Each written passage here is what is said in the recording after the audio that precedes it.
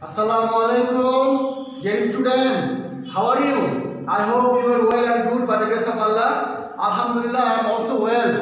And still, I, uh, I, I am not affected by Corona. Uh, I hope you are also not affected by Corona. Please follow health rules and regulation and, and uh, maintain your life with health and regulation. Okay? So dear student, Allah is Almighty. Yes, Allah is Almighty. Without Allah, we can't go ahead. We can't think a moment, a single moment. So, my dear student, class 6, this is Mr. Selim Reja. I'm English teacher. English second paper. Today I am discuss with you person and noun according to our schedule study অর্থাৎ আমাদের যে schedule পড়া সেই schedule পড়াতে সেই schedule অনুযায়ী তোমাদের class নেব আমি আজকে থেকে তোমাদের শিডিউলে দেওয়া একটা দেওয়া আছে। এক নম্বর ইমেল এবং পার্সন ইমেল তো হচ্ছে মুখস্থ বিষয় এবং আমি আশা করছি তোমাদের ইমেল সব কটাই তিনটা ইমেল আছে। তিনটা ইমেল তোমাদের মুখস্থ হয়ে আছে। তারপরও তোমরা এক এবং দুই নম্বর এবং তিন নম্বর এই তিনটা ইমেল আজকে সবাই মুখস্থ করবা? আজকে মুখস্থ করে তোমরা এই ক্লাস দেখার পরে যেদিন দেখবে ক্লাসটা সেদিন মুখস্থ করবা। মুখস্থ করে তার পরের দিন আমাকে তিনটা ইমেল তোমরা লিখে আমাকে পোস্ট করবা। কেমন? তো আজকে আমরা আলোচনা করব হচ্ছে পার্সন দিয়ে দেখো, পার্সন এবং নাউন আমাদের শিডিউলে পড়া আছে পার্সন আমরা অনেকবার পার্সন নিয়ে আলোচনা করেছি। খুবই ইম্পর্ট্যান্ট টপিক পার্সন পার্সন বলতে যেটা বোঝানো হয়, কোনো ব্যক্তি বা বস্তুকে নির্দেশ করে যেটা পার্সন যেমন পার্সন হচ্ছে কয় প্রকার বলো? তিন প্রকার। একটা হচ্ছে ফার্স্ট পার্সন লিখে নাও। পার্সন কয় প্রকার বলো? পার্সন ইট থ্রি কাইন্ডস অর্থাৎ পার্সন তিন প্রকার। One is first person second person and তিন নম্বর হচ্ছে থার্ড পার্সন তাই তো? তাহলে তোমার এমসিকি প্রশ্ন আসতে পারে যে পার্সন কত প্রকার? তখন তুমি উত্তর লিখবা তোমার উত্তর তোমার অপশন থাকবে চারটা। এক প্রকার, দুই প্রকার, তিন প্রকার চার প্রকার। তুমি কি লিখবা? পার্সন তিন প্রকার। আবার প্রশ্ন আসতে পারে how many kinds of person one kinds two kinds three kinds four kind তখন তুমি কি লিখবা? থ্রি কাইন্ডস ঠিক আছে? এরপর দেখো ফার্স্ট পার্সন আমরা দেখি ফার্স্ট পার্সন হচ্ছে আই মানে আমি। মি মানে কি বলো? আমাকে। মাই মানে কি বলো? আমার। আর হচ্ছে কি বলো? মাইসেলফ মানে আমার নিজে। আমরা সাধারণত এই চারটাকে আমরা ফার্স্ট পার্সন সিঙ্গুলার নাম্বার বলব আই মানে আমি আমি দেখো একজন ব্যক্তি মি মানে আমাকে আমাকে বলতে কয়জন? একজন। মাই মানে আমার আমার বলতে কয়জন বলো? একজন। মাইসেলফ মানে আমার নিজে। তো আমি জানি ক্লাস সিক্স তোমরা অনেকেই এই, এইগুলোর মানে জানো না। যারা জানো না নিবা। খুবই গুরুত্বপূর্ণ কথা কথাগুলো। আই মি মাই মাইসেলফ এর কারণ হচ্ছে সিঙ্গুলার এইটা পড়তে গেলে নাম্বার চলে আসে। তো নাম্বার কত প্রকার বলো? দুই প্রকার। একটা সিঙ্গুলার নাম্বার আর একটা হচ্ছে প্লুরাল নাম্বার তাহলে সিঙ্গুলার মানে কি? এক বচন। যেগুলো এক এক, একটা যেগুলো যেগুলো একক কাজ। একক একক যেগুলো বস্তু বলে সেটা হচ্ছে সিঙ্গুলার নাম্বার উই উই মানে কি বলো? আমরা। আস মানে কি বলো? আমাদের। আমার বলো, আমাদের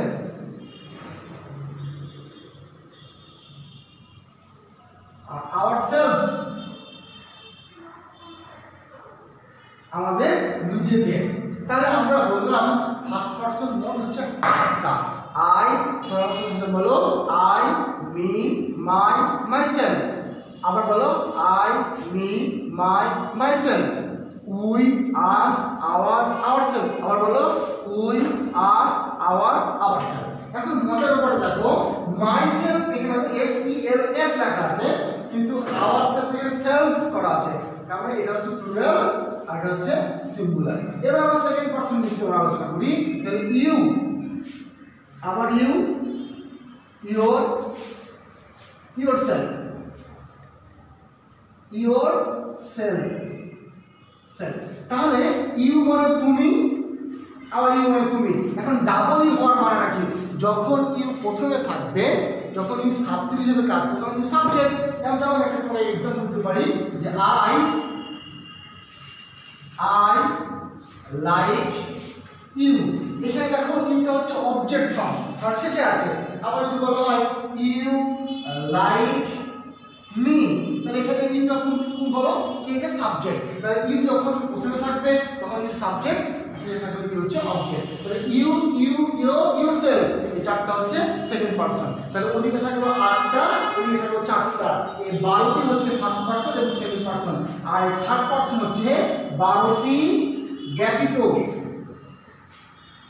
সব থার্ড পারসন এখন বন্ধুরা, তোমার প্রশ্ন একটু আসতে পারে যে আই আই লেখার পরে দেওয়া থাকবে যে বলো হুইচ পারসন ইজ ইট তোমার প্রশ্ন দেওয়া হবে first person second person third person না তখন তুমি কি লিখবে এটা? ফার্স্ট পারসন আবার তোমার লেখা থাকবে সি সি তোমার লেখা থাকবে হুইচ পারসন ইজ ইট তখন তোমার ওই আবার উত্তর দেওয়া থাকবে ফার্স্ট সেকেন্ড থার্ড বা নাম দেওয়া থাকবে তখন তুমি কি লিখবে থার্ড পারসন কেন থার্ড পারসন থার্ড পারসন হওয়ার কারণ দেখো, এই সি কথাটা এই বার বলে দেখো নাই। I we my myself we us our ourselves you you your yourself এই বারটার মধ্যে সি নাই। তার মানে সি হচ্ছে থার্ড এখন তুমি বলতে বলে মার্কার কোন পারসন থার্ড পারসন কোন নাম্বার সিঙ্গল নাম্বার কেন? এটা মার্কার একটাই বোঝাচ্ছে তাহলে আমরা পার্সন নিয়ে এখন আলোচনা করলাম। তাহলে পার্সন নিয়ে কারও কোনো প্রশ্ন নাই। যদি প্রশ্ন থাকে, আমাকে তোমরা বলবা। এবার আমরা চলে যাব নাউন নিয়ে আলোচনা তাহলে আমরা শেষ। ঠিক আছে? তো তোমরা, আমি আশা করি তোমরা সব লিখে ফেলেছ। পার্সন শেষ, এবার নাউন নাউন খুবই গুরুত্বপূর্ণ একটা টপিক পার্টস অফ স্পিচ আমরা তোমাদেরকে পড়িয়েছিলাম। পার্টস অফ স্পিচের মধ্যে নাউন প্রচণ্ড শক্তিশালী একটা আইটেম এই নাউন তোমার লাইফে যতগুলো পরীক্ষা তুমি দাও না কেন, যতগুলো ভালো ভালো পরীক্ষা, যতগুলো চাকরির পরীক্ষা, যেখানে তুমি যাবা, তোমার পার্টস অফ স্পিচ তোমাকে ছাড়বে না। যেমন তোমাকে টেন্স জানতে হবে, তেমন তোমাকে নাউনটাও খুব ভালোভাবে তোমাকে জানতে হবে। তা আমরা আজকে নাউনের সম্পর্কে আলোচনা করতে পারি।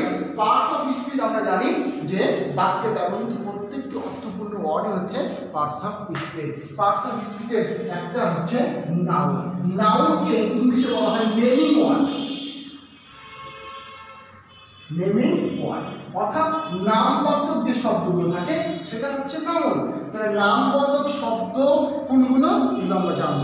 আমি যদি নাউনের সংজ্ঞা আমাদেরকে দিই, যে কোনো যে ওয়ার্ড দ্বারা কোনো কিছুর নাম বোঝানো হয়, অর্থাৎ যে ওয়ার্ড দ্বারা কোনো কিছুর নাম বোঝানো হয়, তাকে নাম ধরে নিতে পারো, যে ওয়ার্ড দ্বারা কোনো কিছুর নাম বোঝানো হয়, তাকে নাউন বলে। এখন আমরা জানব নাউন কয় প্রকার? আমরা নাউন মাধ্যমে জানব? দেখো, নাউন আমরা প্রধানত দুই প্রকার একটা হচ্ছে একটা হচ্ছে অ্যাবস্ট্রাক্ট নাউন অ্যাবস্ট্রাক্ট নাউন আর হচ্ছে কনক্রিট নাউন এই দুটো নাউন একটা কনক্রিট নাউন আর হচ্ছে অ্যাবস্ট্রাক্ট নাউন যদিও তোমাদের এত ডিপলি আসবে তবুও আমরা আলোচনা করছি আমরা আলোচনা করব। অ্যাবস্ট্রাক্ট নাউন আর কনক্রিট নাউন দেখো অ্যাবস্ট্রাক্ট কথাটা খুব গুরুত্বপূর্ণ একটা কথা। অ্যাবস্ট্রাক্ট মানে হচ্ছে যেটার কোনো দেখা যায় না, ছোঁয়া যায় না। ধরা যায় না। আমাদের ইন্দ্রিয় কয়টা? পঞ্চ ইন্দ্রিয় বলে, পঞ্চ ইন্দ্রিয়। পাঁচটা আমাদের ইন্দ্রিয় আছে, পাঁচটা সেন্স আছে আমাদের। ষষ্ঠ ইন্দ্রিয় বলে হচ্ছে উপস্থিত বুদ্ধিকে বলা হয় উইটিনেসটাকে বলা হয়। কিন্তু অ্যাবস্ট্রাক্টটা হচ্ছে পঞ্চ ইন্দ্রিয়, পঞ্চ ইন্দ্রিয়কে, অর্থাৎ পঞ্চ ইন্দ্রিয় কোনো কাজে আসবে না। অর্থাৎ পঞ্চ ইন্দ্রিয় যেটা ফিল আছে অনুভব করা যায় যেমন দেখো আমি তোমার সাথে ক্লাস করছি, যখন ক্লাসটা আমি করি সব ফ্যান বন্ধ করে ক্লাস করছি। কারণ ফ্যান দিলে তোমাদের শব্দ হয়। এই জন্য আমাদেরকে বলা হয়েছে ফ্যান দেওয়া যাবে না। চন্দন স্যার আছে, চন্দন স্যার বলেছে, না ফ্যান দিলে শব্দ করবে ক্লাসে সমস্যা হবে, দেওয়া যাবে না এই যে আমাকে কী হচ্ছে গরম লাগছে। দিস ইজ অবস্থায় গরমটাকে দেখা যাচ্ছে বলো? দেখা যাচ্ছে না। এটা হচ্ছে অবস্থায় কিন্তু আমার এই আমার এই যে রুমে ক্লাস নিচ্ছি আমি ফ্যান দেখা যাচ্ছে বোর্ড দেখা যাচ্ছে, আমাকে দেখা যাচ্ছে, এটা হচ্ছে কনক্রিট নাম তাহলে যেগুলো দেখা যায়, সেটা হচ্ছে কনক্রিট নাম। আর যেটা দেখা যায় না, সেটা হচ্ছে দেখা যায় না, কিন্তু কি করা যাবে? অনুভব করা যাবে। এই যেমন আমি ঘামতেছি, বা আমার খুব ঠান্ডা লাগতেছে, বা তুমি, তোমাকে আমি খুব ভালোবাসি, সে ভালোবাসা তুমি বুঝতে পারতেছো যে হ্যাঁ স্যার আমার খুব ভালোবাসে, স্নেহ করে। That is call abstract noun তো যাই হোক অ্যাবস্ট্রাক্ট আমরা একটা উদাহরণ দিই। Kind honesty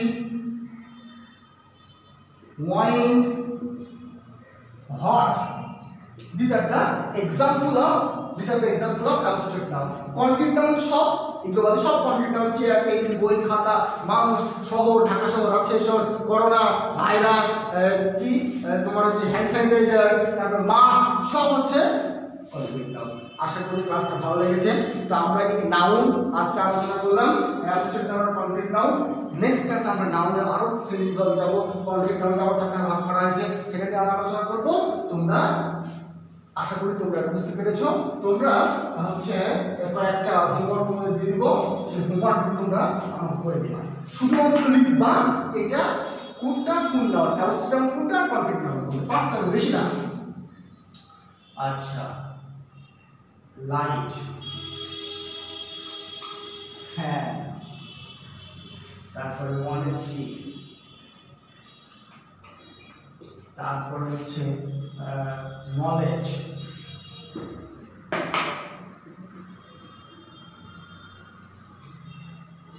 এক, দুই, তিন, চার নলেজ ভাবছু, এই চারটা এক, দুই, তিন, চার, পাঁচটা। এই পাঁচটা কোনটা কোন নাউন কোনটা অ্যাবস্ট্রাক্ট কোনটা কনক্রিট নাউন তোমরা এটা কোনটা কোন নাউন কোনটি